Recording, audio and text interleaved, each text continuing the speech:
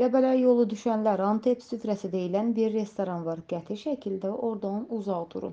Bunu müştərinin səsi sosial qrupundakı paylaşımında İsmail Əlibəyli adlı istifadəçi deyir.